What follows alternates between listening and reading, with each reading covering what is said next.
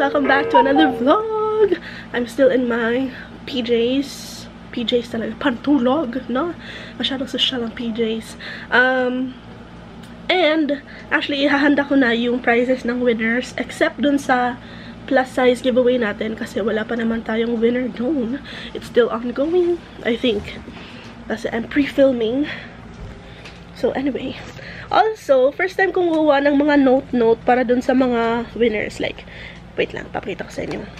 Thank you for joining my giveaway and for being one of my baby girls. Congrats po di for winning. Uy, that's Bisaya. Kasi Bisaya yung nanalo. Never forget that you are bongga. Love you. XO Feeling Ina. This one is para dun sa nanalo ng mga lip tints. And first ko siyang sinulat. And then when I wrote this one, akala ko ifa-follow ko lang yung sinulat ko dito. Pero meron akong, merong ibang nagawa ang aking mga kamay. Wala pa siyang pangalan. Ayan. Sabi ko dito, pardon the handwriting. Dito, dito medyo okay pa yung handwriting ko, pero parang doktor pa rin siya, no? Ganyan talaga yung handwriting ko ever since. Tapos, this one, sabi ko, thank you for joining my giveaway and for being one of my baby girls. Same lang dito. Congrats din for winning. Dito na parang may nagawang iba yung aking kamay. I hope my hands are so shaky. I hope these items help boost your confidence and help you express yourself in ways only makeup can do. Never forget that you are bongga. Yes! Nagkamali pa ako dito. XO Feeling Ina. Tapos, eto sila. Irarap ko sila in some bubble wrap. Ayun. So, siguro, ito muna una. Irap natin ang bubble wrap. Well, actually, I think yung nanalo nito are, ay, is from Cebu. Pero hindi pa siya nagre-reply sa akin. Um, kasi humingi ako ng address niya. Pero sinabi niya, she's from Cebu. I think in her comment, if I'm not like imagining siya, kung ako ang yung, kung ako yung mananalo nito, Baby Yells, super matutuwa ako. So, I hope matuwa din siya dito sa prizes. Ayan siya, yung prizes. No full face of makeup giveaway natin. Ayan. So, yung irarap ko ng um, bubble wrap nito, I think are just these 3, yung mga compacts. Kasi ito parang okay lang sila ilalagay ko doon sa Althea box. Hindi naman siguro sila mababreak. Tignan natin.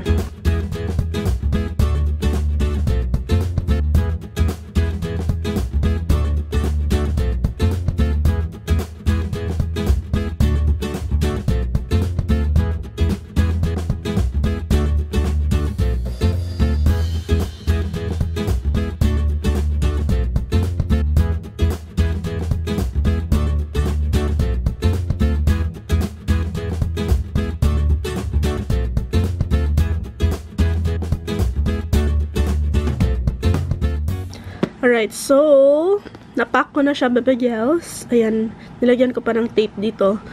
Pero nakalimutan kong ilagay yung bag, tsaka yung aking note. So, bubuksan ko ulit siya, nakakaloka. Pasensya na to the owner kung merong mga scotch tape marks ang iyong box kasi nakalimutan kong ilagay yung bag. Nakakaloka. Okay, so, let's finish this. So, eto na pala siya, baby girls. All wrapped up. Tadaan, tadaan, tadaan. Ayan. Ito, mamaya ko na irarap kasi taga Cebu lang siya. So, maybe we can just meet up. Ayan. And then, let's put the note here. Oops. And, hindi kasha yung bag. Siguro sa labas na lang yung bag, no? Or I don't know. Maybe kung ganyan. Okay naman. Talagang nilagay ko lahat dyan. I forced them inside. So, hindi na siguro to aalog-alog sa shipping.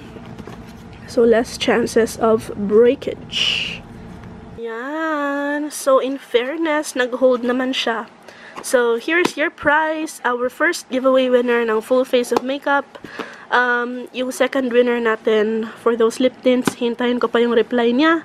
Um, pero nag, ano na siya, nag-notify na siya. So, mamaya na siguro ito. Ayan. And then, I'm also gonna wrap some gifts for my mother-in-law and for my mother kasi magkasunod lang sila ng birthday. Yung mother-in-law ko, January 5. Tapos yung mama ko naman is January 6. ba diba? Bongga. So, hindi ko talaga niligpit yung aming bed, no? Yung comforter, nandyan lang. Hindi talaga ako nagme-make ng bed. Like, super minsan lang. Si Kenneth yung lagi. Anyway, gagawa tayo ng mini haul. gagawa tayo ng mini haul, baby gels. Kasi meron ako nabili kahapon. Kahapon kasi, um, nagpa-facial lang ako dun sa facial care center. Um, so, ayan. Medyo malinis na ating pagmumukha. Hindi ko alam na marami pa... Hindi ko alam marami pala akong bumps sa aking face. So, ayun. Marami tayong redness. Right now, pinrek ni ate. And, meron akong isang cystic acne right here. Ito, cystic acne din. Pero ako lang yung nag-prick. Which, hindi pala dapat. Nakagano ka. Pero, anyway, ayun nga. So, after that, actually, dapat uuwi na ako kasi I didn't get much sleep.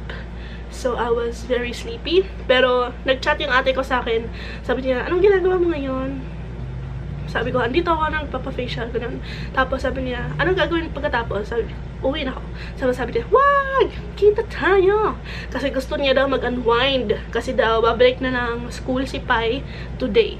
Yesterday kami umalis. So, today, babalik na ng school si Pai. So, parang gusto niya one last gala bago siya bumalik sa kanyang mommy duty. So, today, gagawa tayo ng ating haul na napamili ko kahapon. Usually talaga, pag umaalis kami ni ate, may nabibili ako. Nakakagastos talaga ako. Nakakalota. So, eto yung mga napamili ko. Two big bags. And, um, and actually, yung mall na yun is nasa Mandaue siya.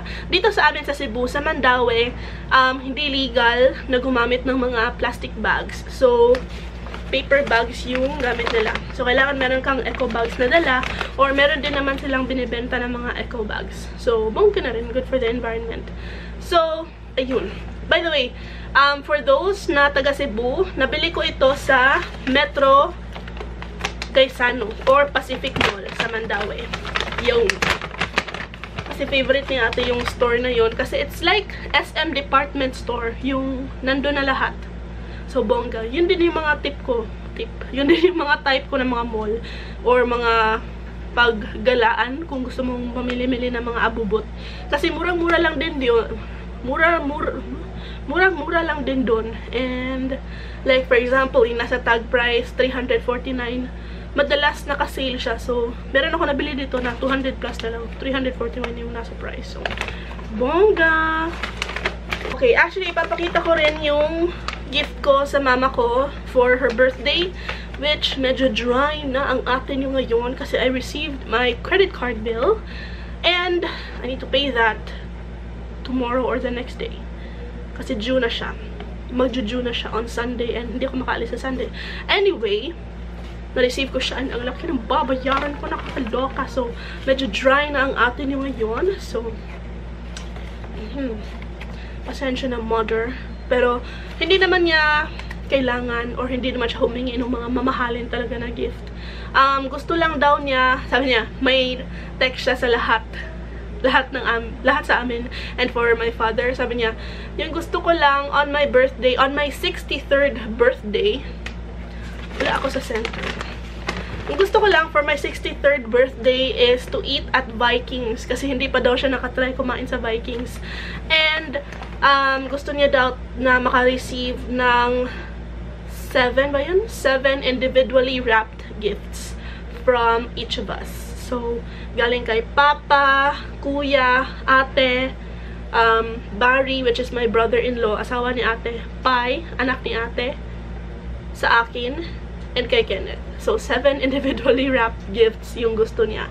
And, I was planning to give her a cake, pero sa aming barangay, um, namimigay na yung ay, city pala. Sa city namin, namimigay yung barangay ng cake, birthday cake para sa mga senior citizens. So, free na. So, no need.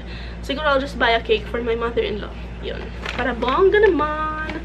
Okay, so, let's start with the haul. Meron akong binili na gift wrapper. Ang mahal pa ng gift wrapper ngayon, 13.50, nakakaloka. Ito na yung pinakamura dun.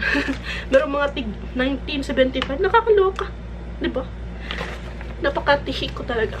Tihik is uh, Bisaya word for matipid or masinop. Siguro. I think. Yeah. Okay, so, ito yung gift ko sa mama ko. It's a very, ay, humingi kasi siya ng ganito, yung set ng mga um, pangluto for non-stick na pan, ganito. Yung mga ladle, mga soup ladle, ganito para spaghetti.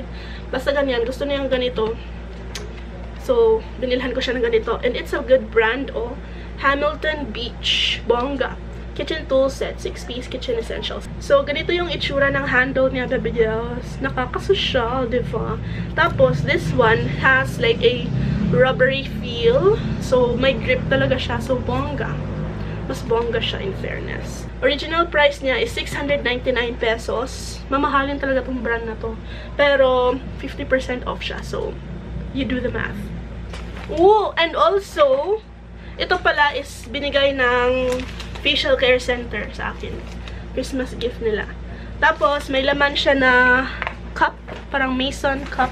Medyo, ano siya, basa. Kasi nilagay ko siya dun sa uh, maruming mga baso. So, ayan. Kailangan hugasan. Meron din akong binili na strainer. Ayan. Kasi kailangan namin ng bagong ganito. So, ayan. Yung strainer ko, para sa mga pasta, noodles, ganun, is meron na siya mga butas-butas. So, Ayun, pangit na siya. Tapos yung stand niya is natanggal na. so, I think I can use this. Tapos yung strainer din namin para sa oil, yung maliit dito, is nasira na din. So, I think pwede naman ito din yung gamitin namin, no? I don't know, like for juice. Anyway. This one is affordable lang naman. 119 pesos. Ayan, metal siya. Tapos may plastic siya sa gitna. So, I think okay lang din naman to, ba? Diba? And then, I got um, two things for my husband. Kasi si Kenneth is super mahilig siya sa mga die-cast. Yun yung mga parang laruan na mga kotse-kotse. And then, nagpagawa siya ng, um, yun yung Christmas gift ko sa kanya, by the way, yung organizer niya for his toy cars. Tapos, yung malalagay niya lang doon is maliliit na mga sasakyan. Tapos, nakita ko, merong on sale na mga die-cast dun sa Metro. Ayan siya, oh. So, I just got two. Buy one, take one siya for only 79 pesos. O, diba? I think he will like it. Pero, tignan natin. Kasi baka sabihin niya, eh, eh. kasi, kasi yung, kumbaga, kasi yung nilalagay niya dun sa organizer niya is mga Tumika na brand. Yun. So, I don't know if he will like this. Pero, we'll see. And, meron pa kami nakita mga bongga. Kasi ang mura-mura. So, mapapabili ka talaga, baby girls. Meron, kitchenware pa rin siya. Meron ganito, oh. Like, bowl. Ano ba tawag dito?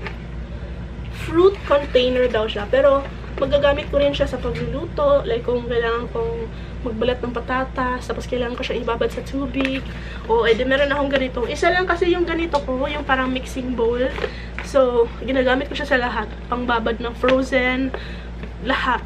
So, yung isa gagamitin ko sa meat, and yung isa gagamitin ko sa veg cheese, di ba? Bongga. So, meron na akong isa pa. And this is only, guess how much? 49 pesos lang ito, baby gels. Ayan yung price niya, oh. Ayan, 49 pesos. Tapos, it's from this area doon. And then, meron pa ako nakitang iba pa. Bongga niya, in fairness. Ayan, oh. So, this is a, what is this called? Plastic col colander. Colander daw. Plastic colander. 49 pesos lang din to baby girls. Tapos, this one, meron siya mga butas sa ilalim. So, pang rinse-rinse ng mga veggies. Ay, nakakatuwa. 49 pesos! Tapos, yung mama ko, sa birthday niya, gusto niya daw ng mascara and eyelash curler. So, siguro yon gift ni Kenneth sa kanya. Tapos, yung mascara is sa akin na lang galing siguro. ba? Diba? So, I got her this trusty Nichido eyelash curler. Kasi ganito naman yung ginagamit ko noon. For I got the Shiseido last, last lash curler. So, ayan. I got her this one. So, bongga din naman to baby gels. Like, gustong gusto ko siya. In fairness. This one is only 188 pesos. So, ayan.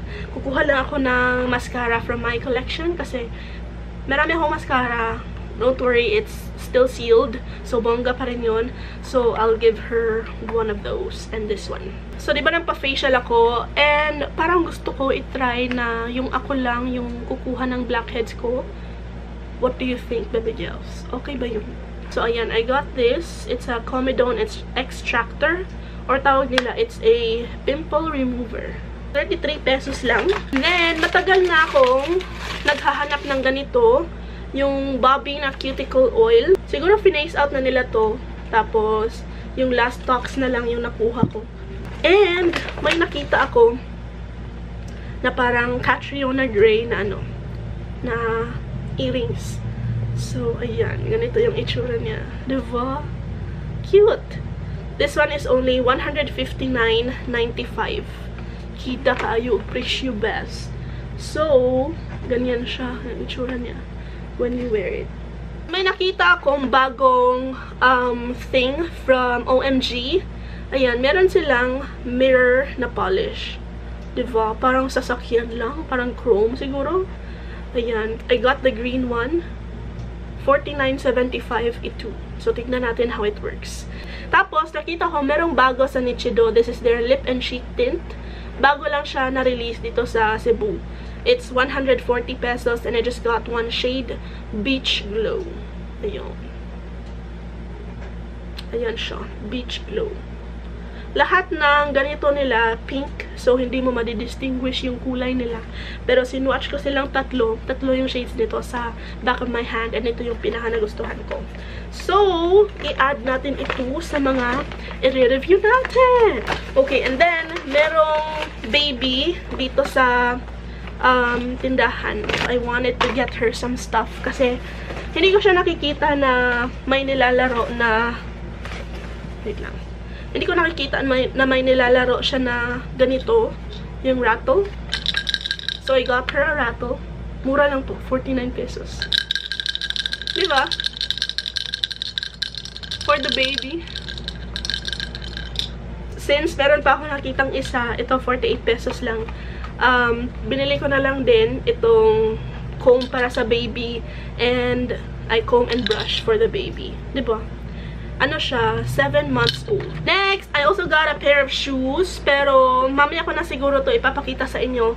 Kasi I also got some shoes from SM Department Store, and gusto kong gumawa ng shoe haul, kasi parang ika-6 na to na binili ko in a span of 2 months. So, nakakaloka. So, ayun. Mamaya ko na ipapakita sa inyo, pero mumurahin lang naman to. 399. Pero, ito yung brand niya. Foley. Marami silang ganito na brand ng mga shoes. So, ayan. So, abangan nyo yung aking shoe haul. I'm excited to film it. Then also, para dun sa baby, I got her a dress. Si Pai, binilhan ko rin ng ganito na dress. And parang natuwa naman siya. I don't know. Ewan ko sa batang yun. Ayan siya. Ito yung dress. Isn't it super cute? Super, super cute. Seven months old pa lang naman yung baby. Pero she is a big girl buyag. Ayan. Dress. Tapos, matangkad din siya. This one is only 199 siya dito, pero um, nakasale siya for only 99 pesos. So, I got something for myself, a clothing item. Hindi ko naman sana to makikita or hindi ko papansinin kung hindi pinakita ni ate sa akin. So, siya talaga ang salarin. Charot. Ayan, it's a pair of shorts. And sabi ko kasi sa kanya, gusto ko ng ganito na shorts na ganito yung cut. Kaso, wala akong makita na kasya sa akin. Pero this one fits me. Bongga. Elastic siya. Pero pag sinuot ko siya, ganyan na ang itsura. stretch na stretch na siya. Pero I don't care. Ganyan siya, ganyan. Isn't it super cute? I love it! Kaka-film ko lang nung ano ko, fashion haul, yung binili ko sa SM. Pero ngayon ko lang, pero may binili pa akong iba. Anyway, this is by the brand Karen and K.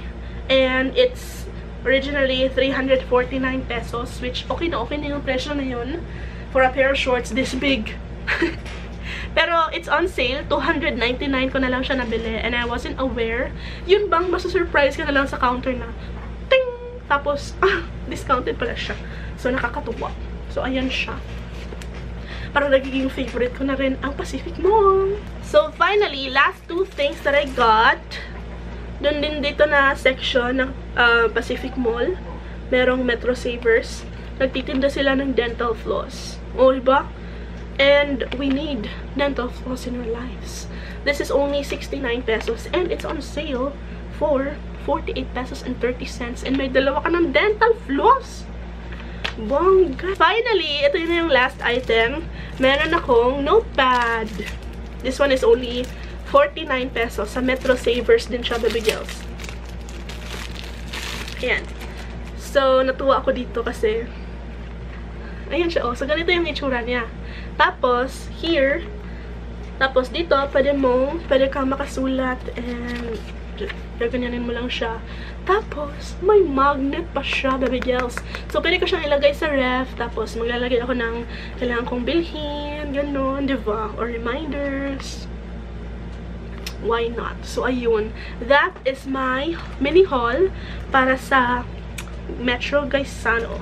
So, yun. Sana nag-enjoy kayo kahit papano babagyaw sa ating mini haul. I really enjoyed buying all these stuff. And I think medyo mahaba na itong vlog natin. So, I will not bore you anymore. Thank you so much for watching, Baby Gals. And meron, and gusto kong gawing bagong tagline ko yung ano, yung sinulat ko sa mga notes ko for the giveaway winners. Thank you so much for watching, baby girls. I love you. Please subscribe kung hindi ka pa nasusubscribe. Please subscribe kung hindi ka pa nakasubscribe to help this plump caterpillar to become a butterfly. And always, don't forget that you are! so, how do you like that new catchphrase? Charot. Anyway, thank you so much for watching and I hope to see you in the next video. Sana bukas or the next day. Vavu!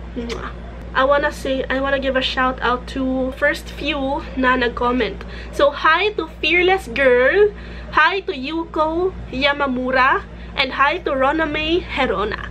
Hello! Kung gusto mo ring ma-feature sa shoutouts, just be sure that you are here at 6pm para ma-shoutout kita. Or just leave a comment saying pa-shoutout or shoutout. Basta may shoutout. Yon. And I will try to do it kasi minsan nakakalimutan ko. So, ayun. Thanks for watching. So, ayun. I love you. Bye! Trouble, trouble, trouble.